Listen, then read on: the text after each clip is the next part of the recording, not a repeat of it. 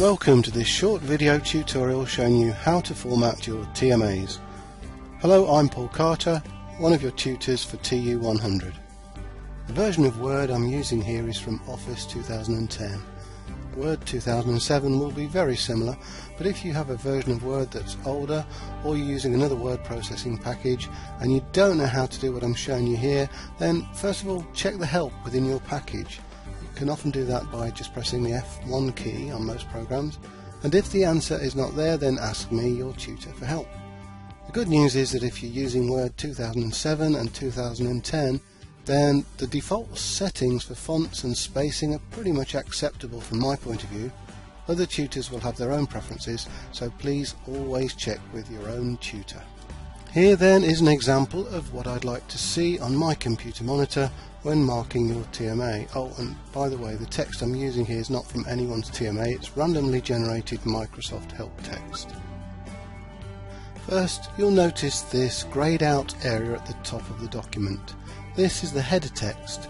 The text inside a header will appear on every page that you produce, so using it can save you time. You need to make sure that you've included certain information in your TMA and you could type it at the beginning of your document, but having to add it to every page is unnecessary if you make use of the header. Your tutor will want to know whose TMA they're marking. They may even have more than one TMA open at a time on their computer screen, so your name and OUID, the TMA number, the course number can be typed in here.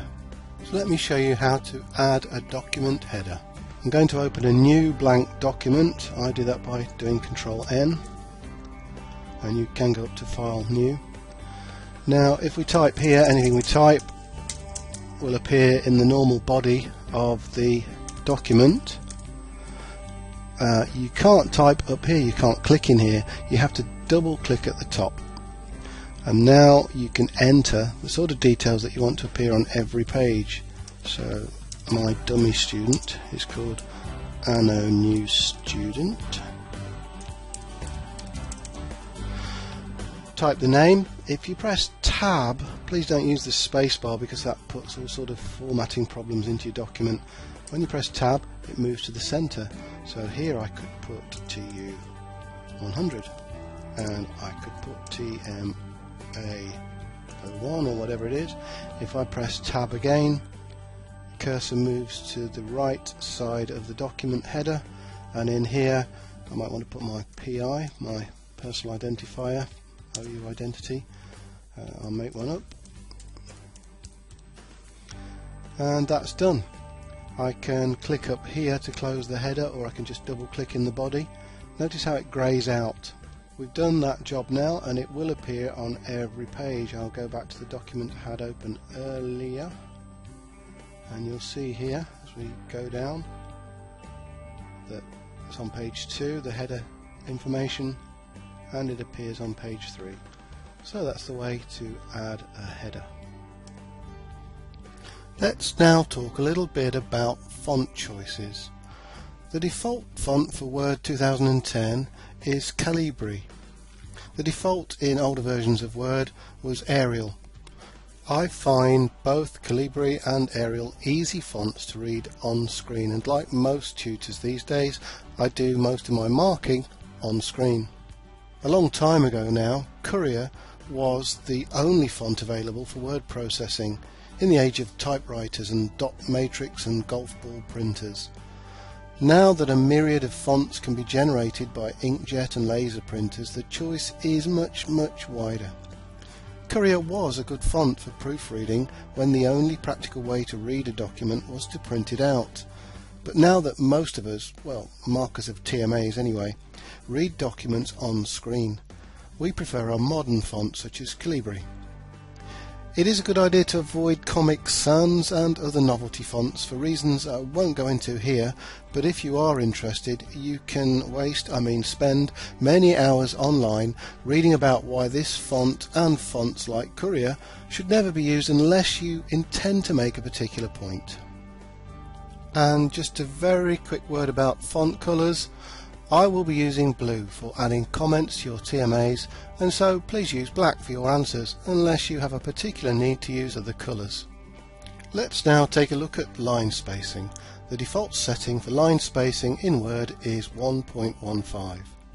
I would prefer your TMAs to have line spacing no wider than that.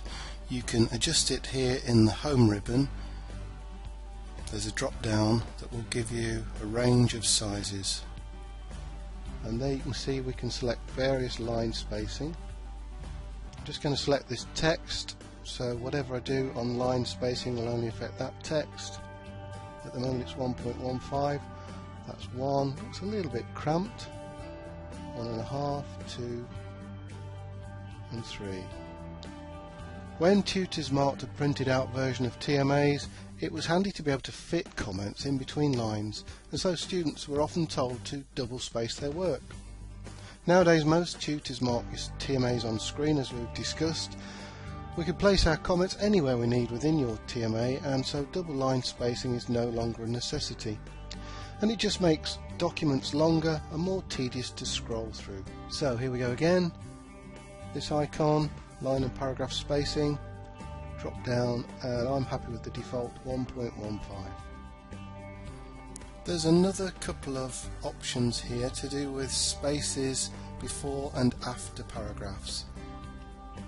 I like to see a space between paragraphs and this is where you can adjust it so this is the default setting add space before paragraph and if you leave it at that that's what I like to see when I'm marking. Now a word about setting out questions and question numbers. I don't need you to reproduce the questions from the TMA in your answers. I won't read them there anyway as I use my own copy of the TMA questions. Including the questions in your answer just adds to the amount of scrolling backwards and forwards that I have to do when navigating your document. If you really need to have the TMA questions, and I know some of you may find that helpful for you, then please at least change the font colour of these so that I can quickly distinguish the bits of your work that I don't need to read. Question numbers, however, are essential there's no need to go in for any fancy formatting, such as indentations for question parts and subparts. Just make sure that the appropriate number appears before that particular answer. It's just a matter of using the exact same numbering system used in the TMA questions. You might want to write the word question in front of the question numbers and I don't mind if that helps you. And that's it for now.